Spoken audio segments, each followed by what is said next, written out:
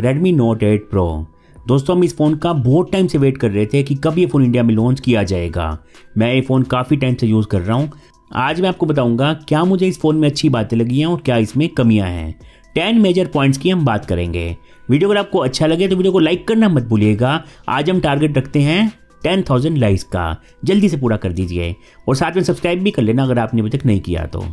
और मुझे कमेंट्स में बस इतना बताना कि आपको ये फ़ोन प्राइस के हिसाब से कैसा लगा। सबसे पहला पॉइंट है हमारा बिल्ड क्वालिटी दोस्तों, ये फ़ोन आता है ग्लास बिल्ड के साथ और आपको मिलता है साइडों में प्लास्टिक का फ्रेम मैं इस फ़ोन को कुछ टाइम से बिना बैक कवर के यूज़ कर रहा हूँ। मुझे ये फ़ोन होल्ड करने में काफ़ी अच्छा लगता है। ग्रिप इसकी काफ़ी अच्छी बनती है। क्योंकि यहाँ पर आपको इस बार बैक साइड पे कर्व भी मिलता है, जो कि पहले आपको नहीं मिलता था नोट सेवन प्रो में। तो मुझे इसकी बिल्ड क्वालिटी काफ़ी सही लगी है और आपको यहाँ पर बैक साइड पे गोला ग्लास फाइव की प्रोटेक्शन भी मिलती है। कमी मुझे लगी है, इसका जो ये कैमरा है काफ़ी ज़्यादा बाहर की तरफ़ निकला हुआ है, जैसे कि आप ये देख सकते हैं। तो अगर आप ये बिना बैक कवर के यूज़ करोगे तो इसका कैमरा प्रोटेक्ट करना बहुत ही मुश्किल है। और मुझे एक और अच्छी बात लगी है, इसका जो ये ग्लास है बैक साइड पे, ये ज़्यादा फिंगरप्रिंट मैग्नेट नहीं है। नहीं तो हमने देखा है, जो भी इस तरह के फ़ोन आते हैं ग्लास बिल्ड वाले, वहाँ पर हमें बैक साइड पे फिंगरप्रिंट्स बहुत ही जल्दी देखने को मिलते हैं। बट यहाँ पर आपको ऐसी दिक्कत नहीं आएगी। और यहाँ पर एक और अच्छी बात है, आपको यहाँ पर ऊपर नोटिफिकेशन लाइट भी दी गई है। जो कि हमें वाटर ड्रॉप नोच के साथ बहुत ही कम देखने को मिलती हैं। अगर हम इस फ़ोन के वेट की बात करते हैं तो इस फ़ोन का वेट है 200 ग्राम्स थोड़ा सा आपको ये फ़ोन हाथ में लेकर हैवी लग सकता है। हमारा सेकंड पॉइंट है इस फ़ोन की बैटरी यहाँ पर आपको बैटरी मिलती है 4500 फाइव हंड्रेड की। और साथ में आपको मिलता है यूएसबी सी टाइप पोर्ट और आपको मिलता है 18 वोट का फास्ट चार्जर बॉक्स में। आपको यहाँ पर डेढ़ दिन के आसपास का बैटरी बैकअप इजिली मिल जाएगा। हमारा थर्ड पॉइंट है इस फ़ोन का डिस्प्ले यहाँ पर आपको 6.53 इंच का आईपीएस एलसीडी पैनल मिलता है। अब यहाँ पर दोस्तों, एक बात तो यह है कि आपको इस फ़ोन में एमुलेट डिस्प्ले नहीं मिलता। ये कमी तो हम पूरी नहीं कर सकते, लेकिन अगर हम इसको देखते हैं आईपीएस एलसीडी के हिसाब से तो ये टॉप क्लास का डिस्प्ले है। कोई भी आपको इसके डिस्प्ले से शिकायत नहीं होने वाली। चाहे हम बात करते हैं कलर्स के बारे में, या हम बात करते हैं व्यूइंग एंगल्स के बारे में। एमोलेट की कमी तो पूरी नहीं हो सकती, लेकिन आईपीएस के हिसाब से ये काफ़ी अच्छा है। और आपको यहाँ पर फ्रंट पे गोला ग्लास फाइव की प्रोटेक्शन भी दी गई है। बेजल्स भी आपको यहाँ पर बहुत ही कम देखने को मिल रहे हैं, पहले के कंपैरिजन में। और आपको मिलती है यहाँ पर water drop notch screen to body ratio है 91.4 परसेंट और अगर मैं बात करता हूँ टच रिस्पॉन्स के बारे में तो वो भी मुझे इसका ज़बरदस्त लगा। कोई भी इससे मुझे दिक्कत नहीं आई है। हमारा फोर्थ पॉइंट है परफॉर्मेंस इस फ़ोन में आपको मिलता है मिरडा Helio G ninety T processor जो कि गेमिंग के लिए बहुत ही ज़बरदस्त है। आपको यहाँ पर पबजी खेलने का एक्सपीरियंस बहुत ही अच्छा होने वाला है। पहले मुझे लगा था कि यहाँ पर आपको हीटिंग इशू देखने को मिलेगा क्योंकि ये थोड़ा वार्म हो जाता था गेमिंग के टाइम या फिर कैमरा यूज़ करने के टाइम लेकिन अच्छी बात यह है, इसकी जो हीटिंग है वो बिल्कुल कंट्रोल में रहती है और ही फ़ोन नहीं होता है। मान लो आप इसमें आधा घंटा गेमिंग करते हो तो आधे घंटे बाद इसका जितना टेम्परेचर होगा, एक घंटे बाद भी उतना ही रहेगा। ये मैं कहूँगा इसकी बहुत अच्छी बात है। आपको यहाँ पर लिक्विड कूलिंग सिस्टम भी मिलता है, जो कि हीटिंग कंट्रोल करने में काफ़ी हेल्प करता है। यहाँ पर गेमर्स को पूरी तरह से ध्यान में रखकर इस फ़ोन को डिज़ाइन किया गया है शोमी की तरफ़ से।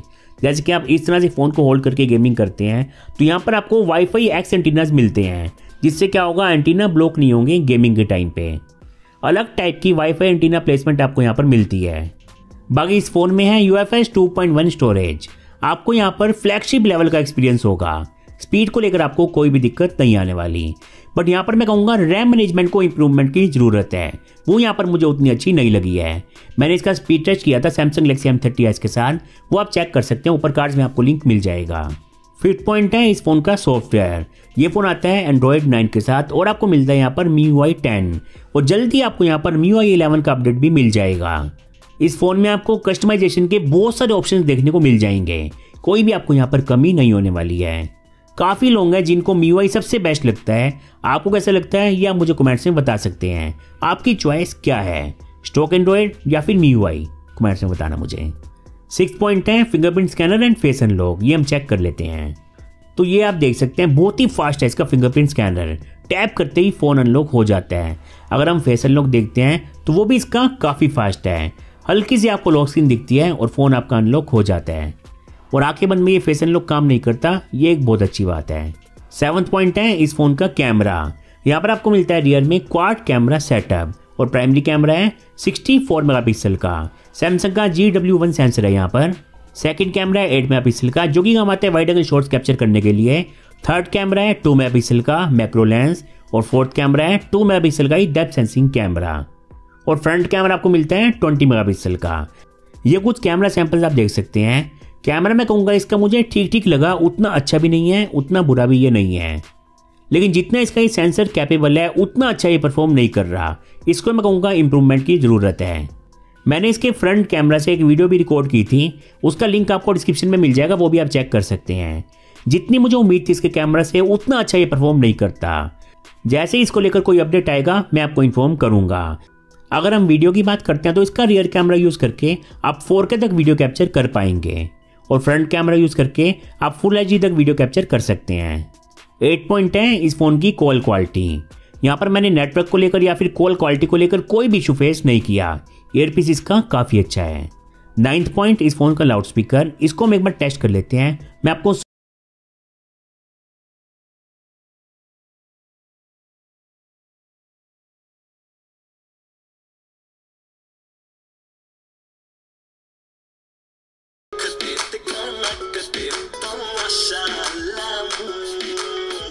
दोस्तों, मुझे इसका लाउड स्पीकर उतना अच्छा नहीं लगा। यहाँ पर लाउडनेस की बहुत ज़्यादा कमी है। टेंथ पॉइंट है कि ये फ़ोन आता है स्प्लैश प्रूफ कोटिंग के साथ। अगर आपके फ़ोन पे थोड़ा बहुत पानी गिर जाता है या फिर फ़ोन आपका बारिश में भीग जाता है तो कोई भी दिक्कत नहीं आने वाली है। फ़ोन आपका बच जाएगा। तो ये टेन पॉइंट से रेडमी नोट एट प्रो के अगर मैं बात करूँ, क्या मुझे इस फ़ोन में कमी लगी है? एक तो यहाँ का लाउड स्पीकर उतना सॉलिड नहीं है जितना कि होना चाहिए था। तीसरा, इसके कैमरा को थोड़ी सी इंप्रूवमेंट की ज़रूरत है। हालाँकि कैमरा इसका ज़बरदस्त है। थोड़ा सा और इम्प्रूव हो जाए तो बात बन जाए। सेंसर भी इसका ये कैपेबल है, कोई दिक्कत नहीं है। और कैमरा इसका थोड़ा बाहर की तरफ़ निकला हुआ है, और यहाँ पर आपको प्लास्टिक का फ्रेम मिलता है। अगर यहाँ पर मेटल का फ्रेम होता तो मज़ा आ जाता। इसके अलावा कोई भी दिक्कत नहीं है, बहुत ही ज़बरदस्त ये फ़ोन है। आपको ये फ़ोन कैसे लगा कमेंट्स में आप मुझे बता सकते हैं। मुझे उम्मीद है कि आपको कुछ हेल्प मिली होगी आज की वीडियो से। अगर आपको हेल्प मिली हो तो वीडियो को लाइक और शेयर करना मत भूलिएगा।